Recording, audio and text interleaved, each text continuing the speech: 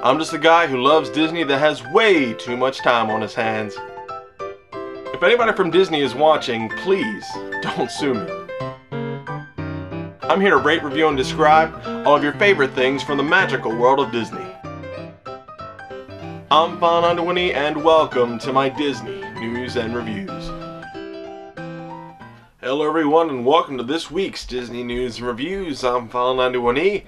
Super Bowl weekend guys, wanted to get this up before the Super Bowl. Got a lot of cooking to do. I'm going to be doing, uh, I'm going to be cooking that uh, pork dish that I uh, did a Cooking with Fawn Underwinnie on. If you want to go check that out, check in the older videos. I'm going to be cooking that up this weekend along with some uh, pizza stuffed pretzels. I know I, I got that online. And uh, some of this buffalo chicken cheese dip that uh, everybody likes. So, you know, it, it should be a pretty cool Super Bowl party. You know, I'm looking forward to it. Um, so, I mean, aside from that, you know, nothing really going on you know, this past week. It seemed to be going by pretty quickly, which is kind of weird. So, I don't know, just this past week has been a blur to me. I guess just a lot of stuff on my on, on, the brain. Um, but I'm here now, and um, yeah, I think that's it. So let's get right to the news. This is pretty cool. Innoventions' newest exhibit, Habitat Heroes, has opened and WDW Magic has got to experience it during a short test phase and they gave us some details.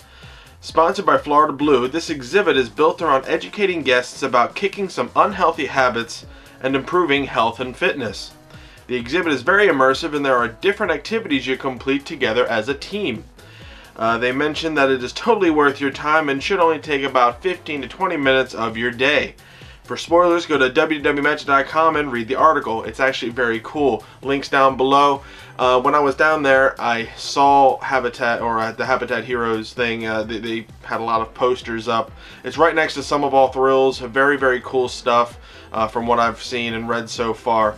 So uh, if anybody is down there and actually checks it out before I get down there, I don't know, message me and tell me how they liked it because I'm really, really interested in, uh, in, in checking it out. The Magic Kingdom is planning to host a special Super Bowl MVP motorcade on, on Monday, February 6th around 1.20 p.m. The route will include Main Street USA and Liberty Square. Uh, obviously, we don't know who the Super Bowl MVP is yet. Uh, it's going to be either a person from the Giants or the uh, the New England Patriots. So, um, you know, we'll have to see there. Uh, obviously, Disney does this every Super Bowl. The whole, what are you gonna? Uh, you won the Super Bowl. What are you gonna do next? I'm going to Disney World. Uh, the MVP usually says that each and every single time. So, uh, yeah. So you know that's pretty cool. Just you know, if you're down there on Monday, February 6th at 1:20, there's going to be the Super Bowl um, a motorcade. So you know, check that out if you're down there. And some rehab and refurbishment news. The Liberty Square Riverboat is scheduled for a refurbishment in the spring, closing on April 16th and reopening on May 21st.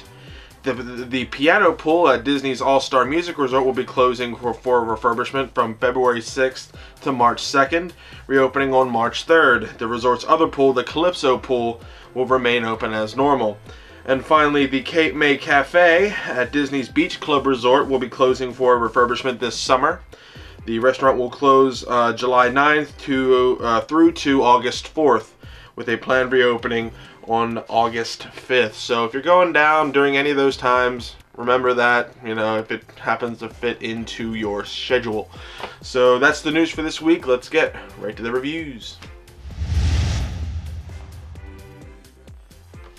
Now normally I would be reviewing a uh, restaurant or something like that right now, but I got a special re uh, re request to review a certain thing uh, from Jose MS193122 or 12009. There you go. A lot of numbers right there. But anyway, he wanted me to review the DisneyStore.com website. Um, it's it was interesting, and I wasn't I wasn't sure how to review this, um, but I took it as a challenge, and here's what I found out about DisneyStore.com, and uh, here's, or at least my opinions on what it is. And I Disney first, first launched an online web presence, especially for shopping, uh, in 1995. That's pretty much when the internet started and started to really gain some steam.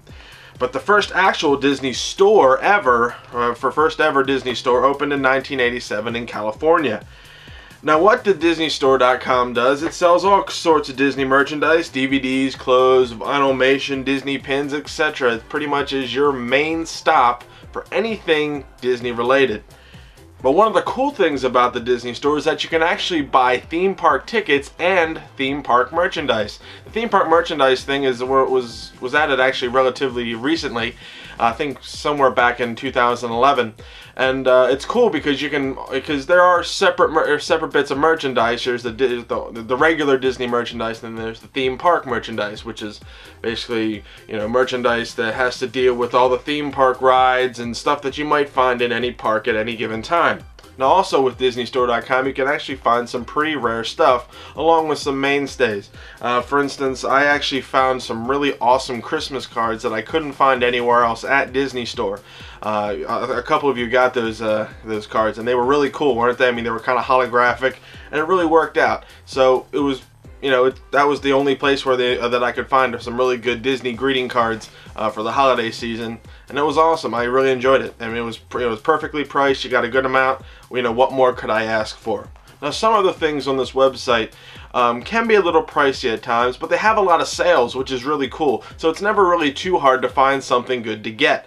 So what am I going to give the DisneyStore.com? First website I've ever reviewed, so uh, I'll have to give it 4 because you can pretty much get anything you want. Now, it's not a perfect website because, yes, it can be a little pricey at times. But the fact that you can buy pretty much anything that you need from here, uh, you know, obviously makes it a really, really good store. Um, you might find other things, other places, you know, some non-official Disney stuff, or you, you even might find, you might eBay it and you might find it a little bit cheaper. Um, but if you want some authentic Disney stuff at a, you know, at a decent price, and you just need to find it, DisneyStore.com is the total is totally the way to go. So DisneyStore.com, four stars. Check it out. www.disneystore.com.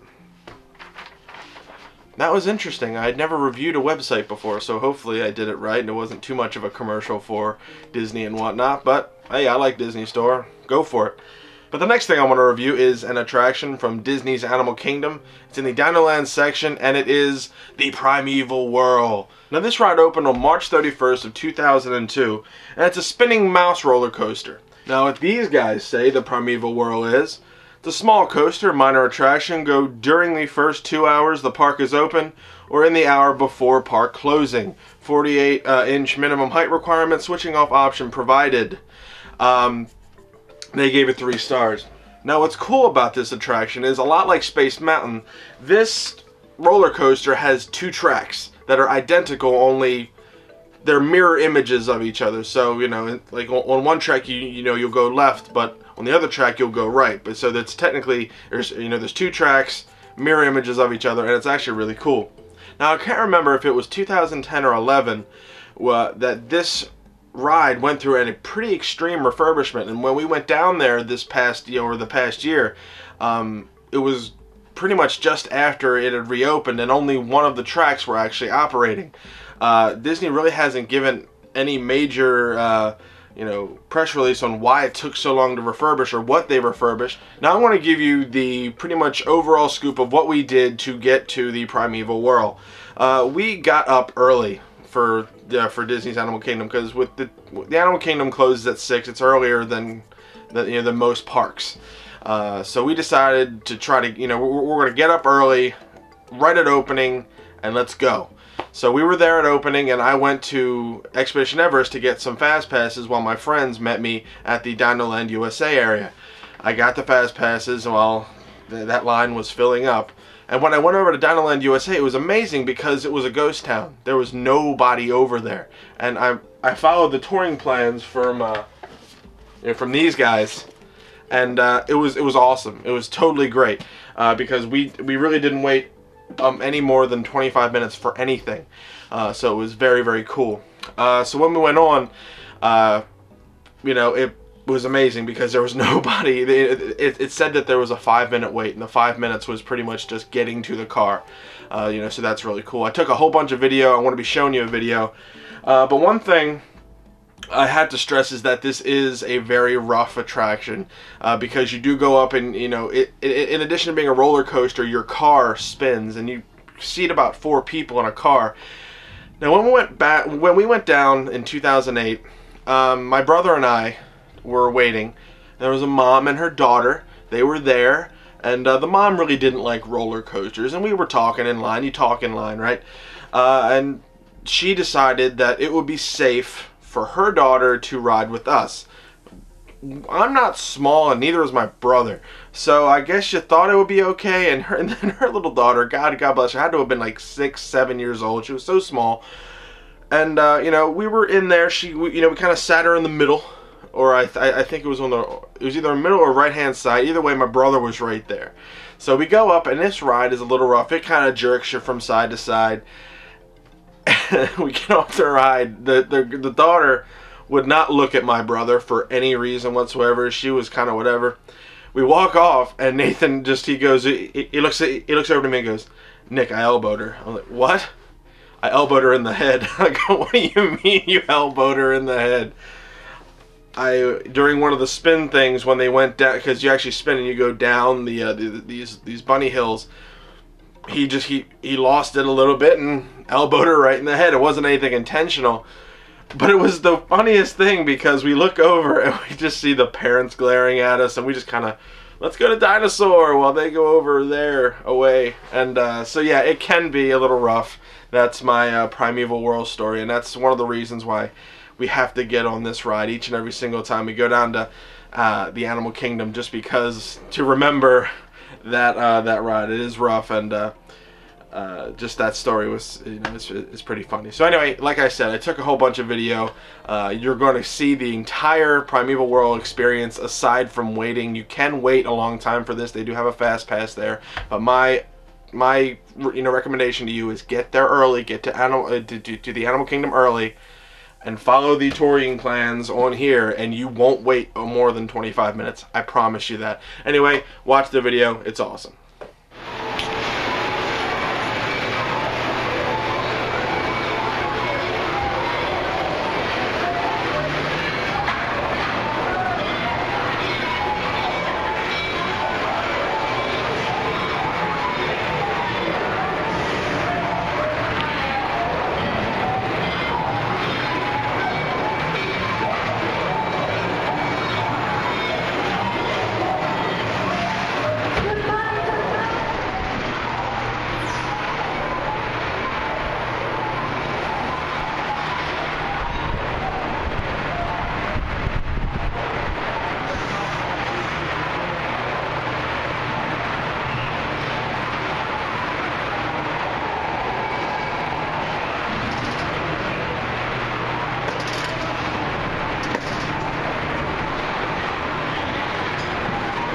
Can all three of us get in here? Yeah. Oh. Yes. No. You can do it. Oh, you're gonna be my you're gonna be my little Girl Scout. this is gonna. Oh, Nathan, I swear to God, if you elbow me in the face. We're locked. Could, could, can you scoot over some, Nathan? No, actually I can't. Ah, this is why I hate you, Nathan. I know. Know I'm recording this, right? Yeah.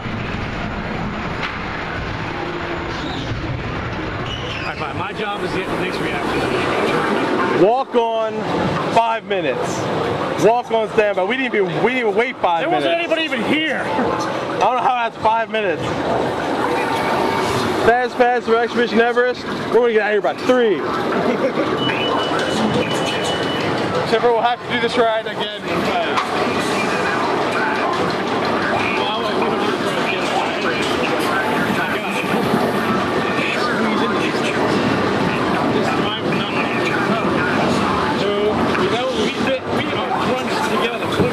You know what? We fit. But I didn't like Hershey Park where I can't even ride. Ride stuff. Because I don't know, I don't need to see Airbag.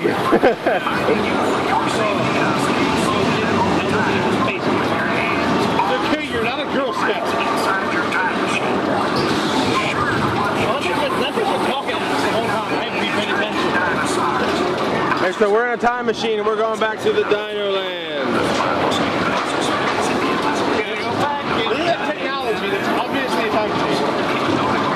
Not plastic at all. Hey, Chester.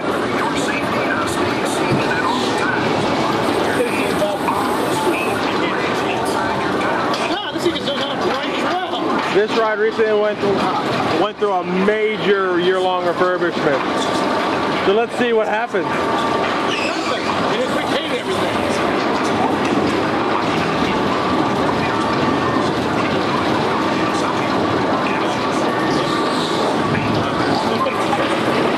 Gotta go back in time, guys. Way back in time, guys. Go to the dirt. Seconds before the meteor hits.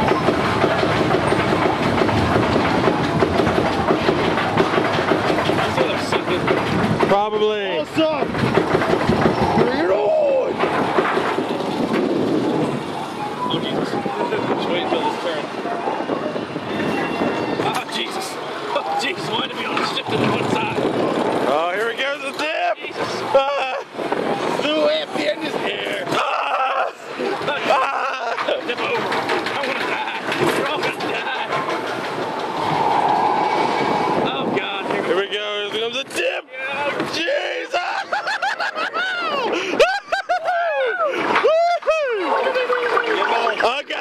Dip! Oh jeez!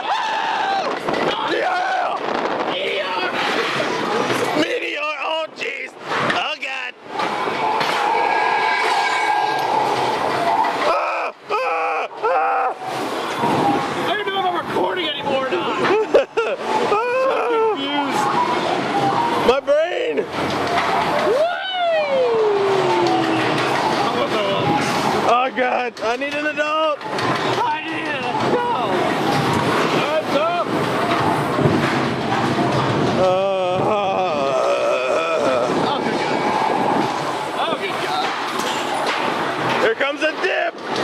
Ah, ah, jeez! Ah! Oh, I didn't expect. Ah! Not Bunny Hills! Ah! Ah! Ow. Did I get, oh, Jesus. I got internal bleeding, but I really like that ride actually. it's That deception. track was bad with its brakes. My God.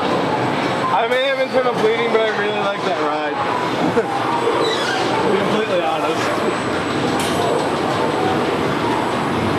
I'm in a lot of pain.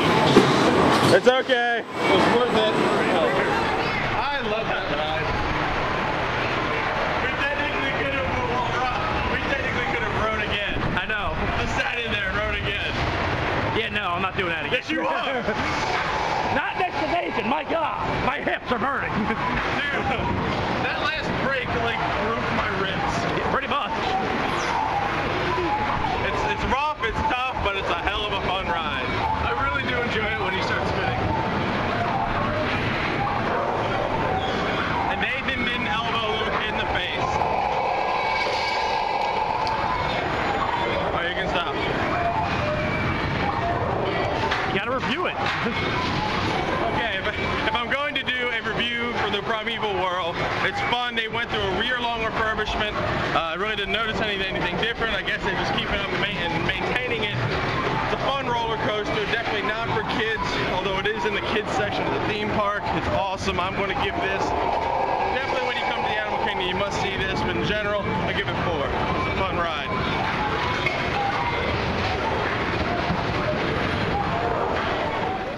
Well, hope you guys enjoyed that little video. Uh, yeah, that's pretty much it.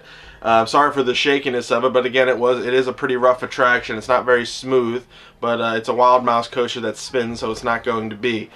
Um, now, what's funny is they did put this in a in the ch- children's section of the of the park. Um, so a lot of people might think that this is a kid coaster. This is not a kid coaster. Um, it is it is it is very herky jerky. So please get on with your uh, you know with your children. Uh, parents get on with your children, and uh, really observe those height requirements. Just because um, this isn't a kids coaster by any means whatsoever. So what am I going to give the Primeval Whirl? I really want to give it a four. So personally, I'm going to give it a four, but I'm going to give it a three. this is one of those attractions that not it's not for everybody. Um, just because it is very herky jerky, but it is a fun attraction. It is if you if you look at this as a pure coaster, it really isn't. It's just a fun attraction that really has no main theming whatsoever. Uh, you know, the theme is just going back in time. Essentially like Dinosaur. But it's just, it's fun. It's just so fun. Especially when, you know, I had my, I had my best friend and my, and my brother right there. We were just goofing around. You saw. Uh, that's just, it was, it was, it was amusing. And plus we didn't have to wait. So it was, it was awesome. It was a perfect walk-on ride. We didn't have to worry about it. Uh, so that's why I wanted to give it a four. But if you do have to wait in the, in the hot in the hot sun and all that stuff, I can understand uh, why you know giving it a three would be would be right. So personal, you know, beliefs aside, I want to give it a four, but personal beliefs aside, the Primeval Whirl at Disney's Animal Kingdom, three stars. But seriously, guys, check that out. It really is awesome. Well, I hope you guys enjoyed this week's Disney News and Reviews. Um, again, watch that Super Bowl. The MVP will be down there Monday, so check it out. It's going to be awesome. Yeah, if anybody from Disney is watching, please don't sue me. I really just want people to go down to Disney World and have a great time. Enjoy all the parades, the fireworks. I mean, you guys got it all. It's awesome. If you're if you're on the fence about going to Disney World, go to Disney World. It's fun. You will have a good time, whether you're an adult, a, a, a child, kid at heart, whatever, you're going to have a great time. Save up all your pennies. It's going to be awesome. So go to allears.net, touringplans.com, wdwmagic.com for our latest and greatest Disney news. WaltDisneyWorld.com is good too, straight from Lord's mouth stuff. If you want to shop for Disney stuff, go to DisneyStore.com. I just reviewed it. Four stars. Excellent stuff. So yeah, um, I think that's it. So I'll see you all next week for another Disney news and reviews after the Super Bowl. Enjoy it. Watch it. Bye, guys.